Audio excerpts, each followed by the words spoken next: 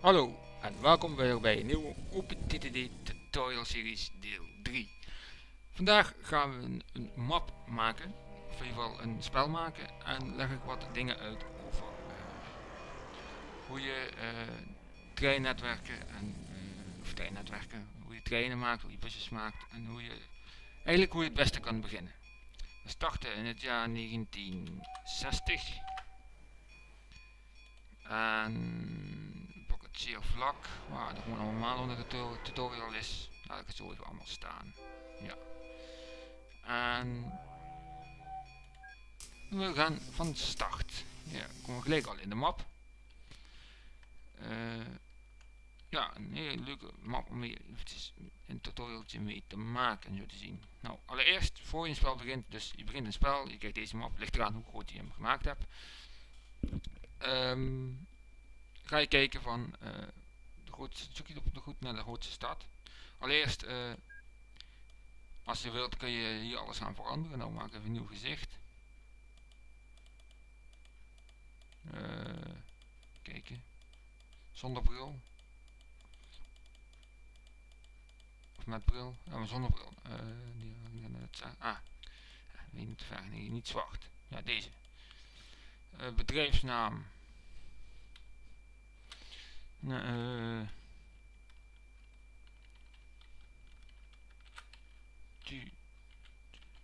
tutorial transport.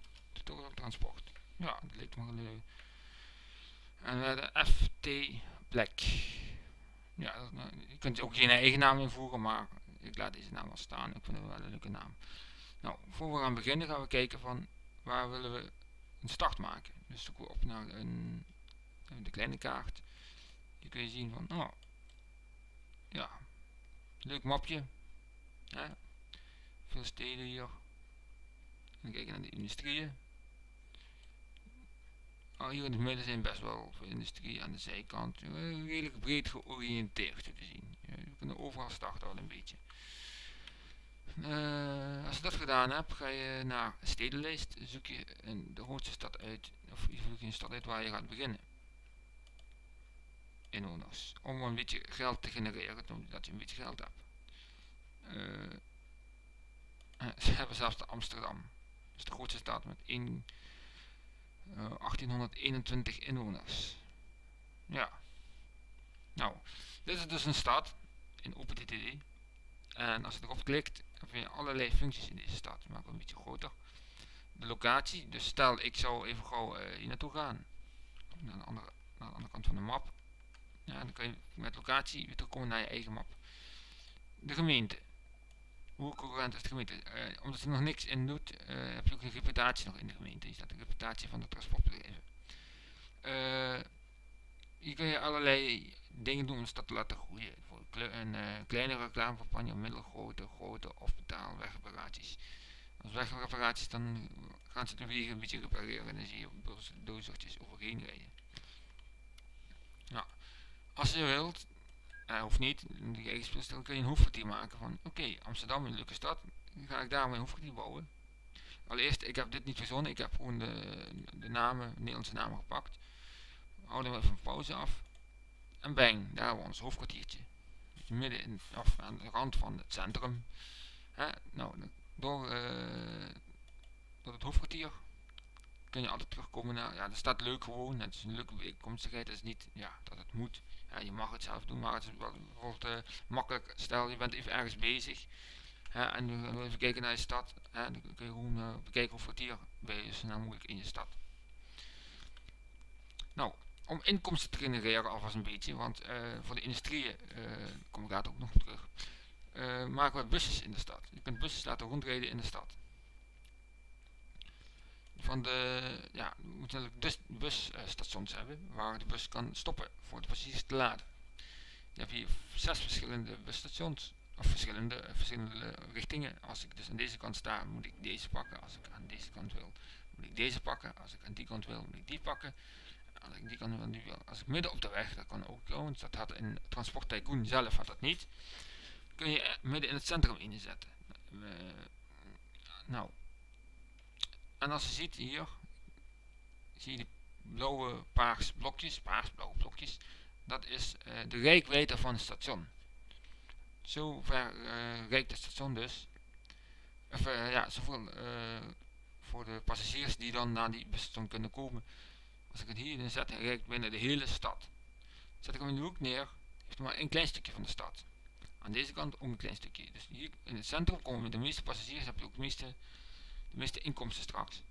Als ik hem nou hier nou zou zetten, heb ik geen inkomsten, want ik heb geen week gereden, er staat geen huis in het midden. Ik ga een beetje meer naar die kant toe. Wij biedt alleen passagiers aan, accepteert nog geen passagiers. Als ik een stukje verder ga, accepteert hij wel passagiers. Nou, wij gaan onze eerste bushalte hier zetten. Nou, in het centrum van de bushalte. Nou, de bushalte moet je naar bushalte naar bushalte. Dat is in het echt ook zo. Van, ja, van de ene halte naar de andere halte. Bijvoorbeeld van het station naar, naar, naar het centrum. Hè, dan moet je dus een bus hebben. Dan pakken we weer uh, onze busstation toe. Nou, dan zeggen we, ja, zetten we bij het hoofdkwartier in de, in de busstationnetje neer. Dat zetten we dan hier neer. Wat is nou het geval? Ja, je moet wel de weg aan elkaar maken, koppelen. Zodat de bus daar naartoe kan rijden. En in dit geval moet je dus je straat zo gaan maken, zodat jij dat bus hier naartoe kan rijden. Bij deze stations, hier kunnen ze de bus dus stoppen en dan kan hij doorrijden. Bij deze stations moet de bus eerst helemaal keren. We gaan ook zo eventjes eentje neerzetten. Die zetten we aan de rand van, oh daar, ja oké daar. En zetten we hier nog eentje neer. Nou, nu heb je de busstations klaar. Dan ga je een depot maken, want we moeten de bussen krijgen. Je kunt de bussen niet zo in 1, 2, 3 kopen, dan moet je voor een depot gaan neerzetten. Nou, depot zetten we hier neer. En als je op depot klikt, krijg je dit. Nou, er staat niks in de garage. De Amsterdam garage hebben ze dat genoemd. Er staat er niks in. Dus hebben wij nodig de nieuwe voertuigen. Klik op nieuwe voertuigen. Krijg je een hele lijst met allerlei voertuigen. De MPS regelbus, een kolen truck. Beetje Posttruck, een olietanker, een veewagen, een goederenwagen, graan, hout, ijzererts, staal en gepantserde truck. Dat is voor, uh, voor de bank. Wij hebben deze nodig. Nou, hier kun je zien de gedetailleerde details van de bus. De bus kost 19.000 euro. Uh, gulden. Rijdt uh, 56 km per uur. Onderhoudskosten per jaar is 1700 euro. De capaciteit zijn 31 passagiers erin. De bus is in 1929 ontworpen. En hij kan 12 jaar mee. De betrouwbaarheid van de bus is 87%. Nou, dit is de enige bus die er is. Als je andere bussen hebt kun je toch vergelijken. Welke bus pak je dan hier en daar. We kopen de bus. En dan krijg je een nieuw uh, venstertje van de bus. We sluiten even deze af. Nu heb je dus je wegvoertuig en staat gestopt in het depot. En hij heeft nog geen orders. Nou, moeten de bus orders geven. Nou hebben we hier verschillende knopjes. Dit is het knopje waar de depot staat. Of waar de, waar de, bus is. Stel de bus zou daar rijden en je, moet, je klikt de, de bus aan in, in, uh, in deze map. Je klikt die aan. En dan krijg je dus het uh, venstertje voor je. Dus sluit je het venstertje, klik je op de bus, krijg je het venstertje voor je. Rijdt de bus ergens in die kant, dan kun je, hoef je alleen maar op dit knopje te duwen. Dan gaat hij naar de locatie toe waar die bus op dat moment is. Dit betekent dat je de bus kan klonen. Dus dat je een tweede bus kan van maken. Dus uh, als je dat hierin ziet. Kun je zeggen van ik wil die bus hetzelfde Clonicum. En dan heeft hij ook alle orders wat die bus zelf heeft. Maar die bus heeft nog geen orders, dus maar die laat die bus mooi instaan, dus voertuig 2. Dit is uh, voor het uh, ombouwen van de bus. Maar dat hoeft hier niet. Dat, uh, als je andere, als ik, nou, daar ga ik later op in, want daar zijn nog allerlei andere mods voor. Deze hier. Hiermee kun je de orders invoeren met dit beeldje.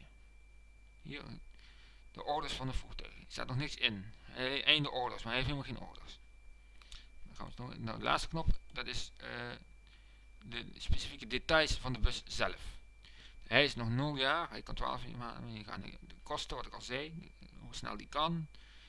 Hier is de winst van dit jaar. En tussen haakjes staat de winst van vorig jaar. Dus dit jaar heeft u 0, vorig jaar had u ook 0. Betrouwbaarheid is 81% een aantal keren motorpech van de laatste onderhoud. Uh, ja, de naam van de bus, de gebouwjaar, dus wanneer wij hem gebouwd hebben, de waarde van de bus, de capaciteit van de bus is leeg nu En uh, geldoverdracht is 0 euro. Hier kun je de onderhoudsinterval 150 dagen. Laatste onderhoud 10, 18 april 1960. Die kun je ook allemaal nog instellen. Je kunt zelfs de naam wijzigen van de bus. Je kunt zeggen van, ah, dit wordt dan de, de, de buslijn 1. Ja, dat is dat buslijn 1. Maar je kan het ook gewoon zo laten hoe je het zelf wil. Nou, buslijn 1 gaan we orders geven. Nu. Als ik hierop klik, krijg je een toeltje op je, op je muis. Zie je een klein pijltje wat heen en weer wijst. Van, nu kan ik op een busstation klikken en dan komt de order erin staan. Ga als eerste naar Amsterdam. Daar kun je naartoe gaan.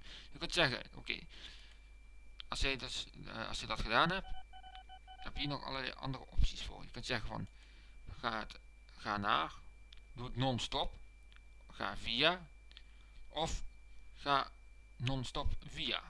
Dat kun je allemaal zelf instellen. Meestal laat ik het gewoon staan op ga naar. Non-stop hoeft niet per se. Hier kun je zeggen van, ik wil graag dat jij volledig gaat laden bij dat station. Dus de bus rijdt ook pas weg als uh, de bus uh, 31 passagiers heeft. Zolang die nog niet vol is, gaat hij ook niet weg. Dan kun je zeggen, volledig laden. Eén soort vracht laden. Dat is meestal als je iets van, uh, met, met de goederen is dat, en met, met de industrieën, maar kom daar ook nog, of niet laden. Dan gaat hij gewoon de bus voorbij. Dus dat zijn allerlei dingen. Maar voor een bus uh, hoef je niet te laten laden in het begin. Eigenlijk geef je die alleen de orders waar naartoe te rijden en dan gewoon, dan laat hij uit zichzelf. Nou, van Amsterdam laten we hem gaan naar Amsterdam West. Van West gaat hij naar Centraal. Van Centraal gaat hij dan naar Hoogte. Dus deze bus heeft een route Amsterdam, Amsterdam West, Amsterdam Centraal, Amsterdam Hoogte. En dat herhaalt hij de hele tijd weer dat is het einde van zijn orders. Na Amsterdam Hoogte gaat hij terug naar Amsterdam. En dan maakt hij dus gewoon eigenlijk een rondje. Als je dat gedaan hebt, heb je twee verschillende, drie verschillende manieren om de bus te laten rijden. Om op deze knop te duwen, gestopt. Om op het kruisje te duwen, dan gaat hij ook rijden. Of op deze knop te duwen, het groene bolletje. Dan gaan alle bussen die in de depot staan, gaan dan weg. Als je alleen op het kruisje duwt, gaat, gaat de bus 1 alleen weg. En als ik even terug ga naar deze menu, je hebt ook nog een knop. Alle bussen die hierin staan, kun je laten vertrekken door ook op die knop te duwen. Dus alle voertuigen. Stel je hebt 100 voertuigen en je wil ze allemaal naar die depot krijgen. En zet je, of als je allemaal laten stoppen, stoppen alle voertuigen. Allemaal laten rijden, allemaal, alles wat hierin staat. Dus dan gaan ook deze twee. Dat is uh, niet alleen wat in de depot staat, maar gewoon al jouw bus en jouw hele transportbedrijf, al jouw busjes. Nou, dat wordt over de bus. Laat de bus rijden. En dan gaat hij op weg naar Amsterdam. Een beetje vast voorwaarts. Nou, dan komt hij hier. Dan registreert hij al. Er staat nog nu staat er 30 passagiers. Nou, registreert al. Ah, er is een bus aangekomen. Ik kan hier. Hier komen de passagiers. Bij deze zie je dat nog niet. Want daar is nog geen registratie van een route van een bus. Dus we wachten even tot de bus daar naartoe komt. En hier zie je, hier moet de bus eerst gaan keren. Voordat hij erin gaat. Dus effectiever zijn natuurlijk deze busstations. Maar deze zijn ook wat makkelijk, uh, ja, wat minder efficiënt. Het meeste wordt toch deze gebruikt, maar dat ligt allemaal aan je eigen speelstijl. Hier zie je nu ook, ah, nog geen passagiers. Uh, de bus is wel gearriveerd op West. Maar er zijn nog geen uh, passagiers daar. En je ziet hier al gelijk in het centrum wat ik al zei. Als je een busstand in het centrum hebt, gelijk heel veel passagiers. Bij deze is er wat minder. 6 passagiers. Omdat hij aan de rand ligt en minder uh, rijkwijde heeft voor, voor die, van die huizen wat in de huizen staan. Nou, hij is naar Amsterdam Centraal gegaan. En daar staat ook nog geen in. Maar je ziet hier gelijk een groot verschil tussen een busstation wat in het centrum ligt, wat heel veel passagiers heeft, en een bus wat aan de rand ligt, wat minder passagiers heeft. En hier heb je dus hetzelfde weer. Weer heeft hij een busstation aangedaan en langzaam komen de passagiers toch op de, als je hier een beetje bij elkaar zet, heeft hij die busstation aangedaan en dan zegt hij van, ah ik heb een mooie route. En hier gaat hij nu ook laden.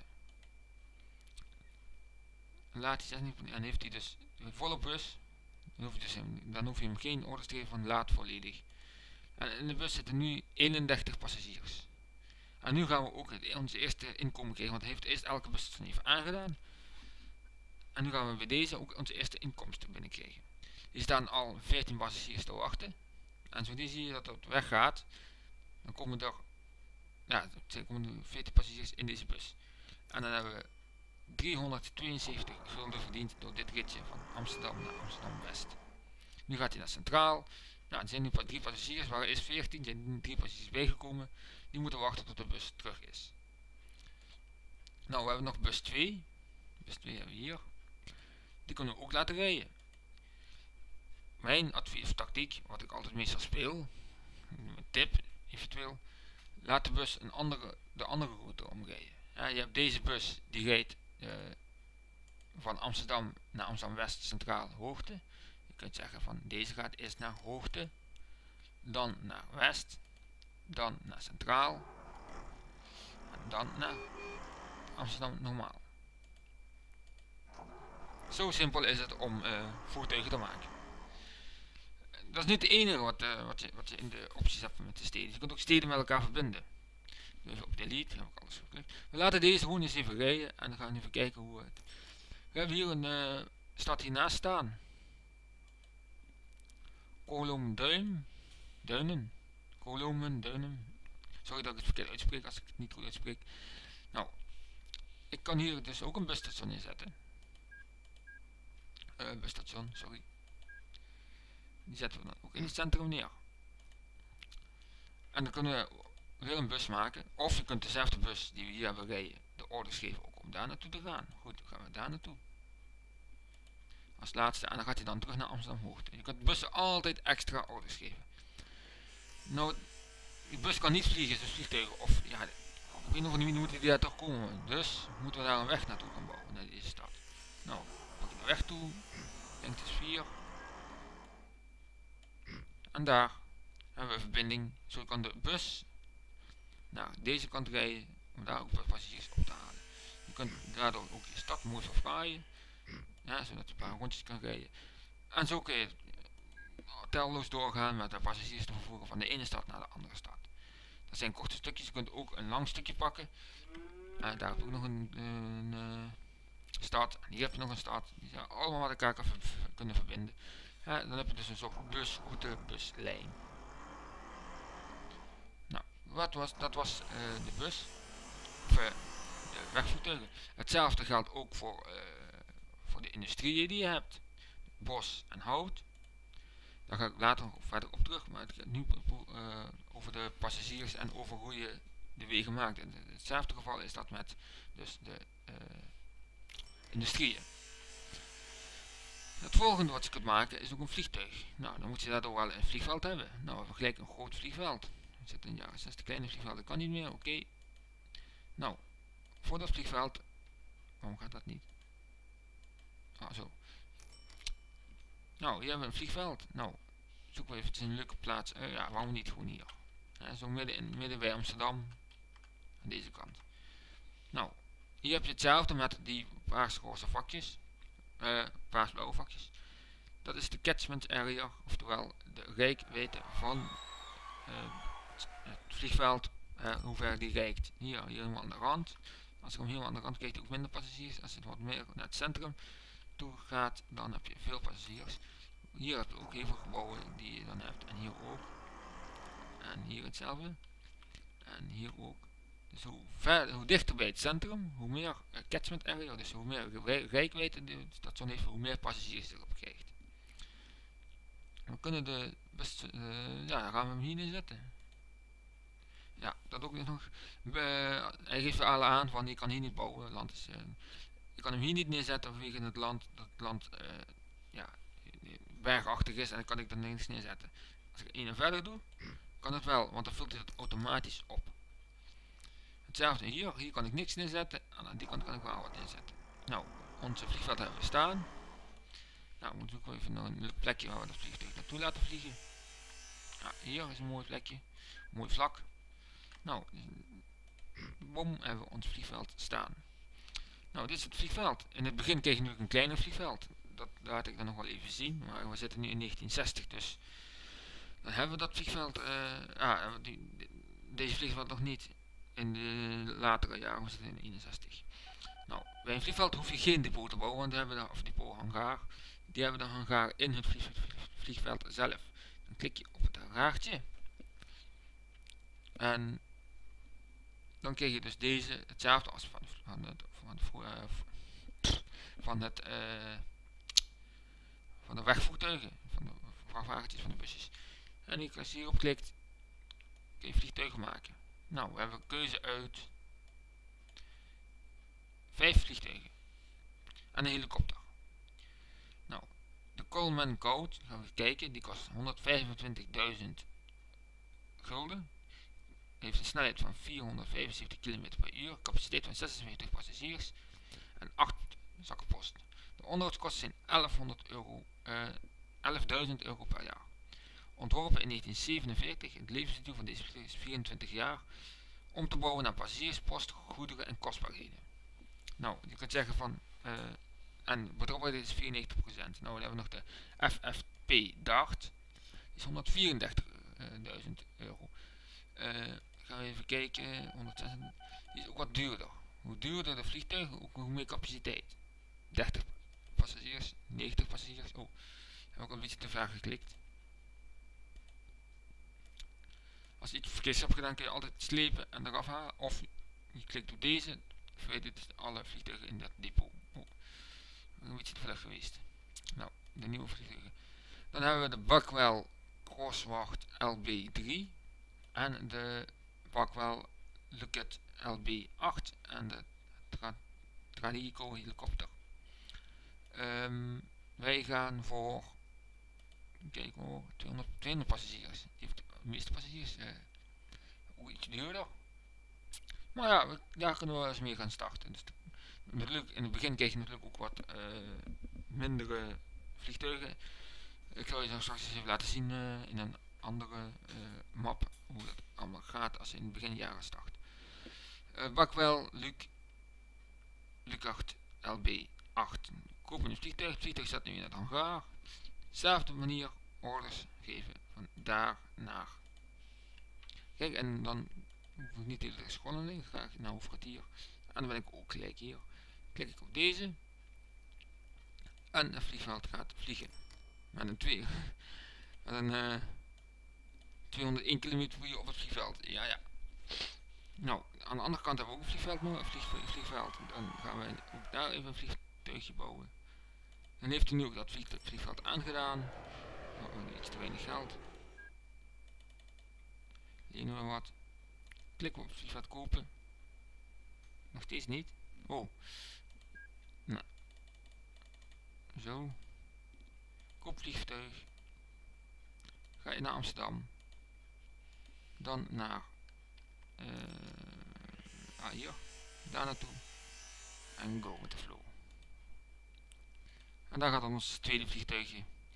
En nu die deze heeft aangedaan, ook, komen daar ook weer passagiers. Hier, alle 18 passagiers. Oh ja, als je een vliegtuig tegen een uh, ander station aanzet, maakt hij daar gewoon één station van. Dus dit is een Amsterdam hoogte, busstation en vliegveld in één. Ja, en daar gaat het vliegveld, het vliegtuig en daar komt het vliegtuig binnen. Het andere vliegtuig gaat naar, ja, die heeft nog hoge snelheid. Het andere vliegtuig gaat naar... Uh, een ander vliegveld toe in. Oh. Westermeer. Ja, Westermeer vlieg, uh, vliegveld.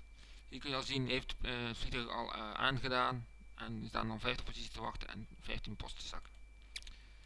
Uh, ja, dan neemt hij dan ook de postzakken mee. Nou, dat was het even voor deze tutorial over de vliegtuigen en de, en de busjes, en de vrachtwagens. In de volgende aflevering pakken we de boten en het allerleukste in het spel wat ik zelf vind is de treinen. Ik hoop dat jullie een leuke tutorial vonden, dat jullie hebben. Hebben jullie vragen of hebben jullie misschien nog tips of hebben jullie suggesties over iets of willen jullie wat meer specifiek weten over deze twee vervoersmiddelen die we gehad hebben. Laat dan een reactie achter. En ik zie je graag tot een volgende keer. Later!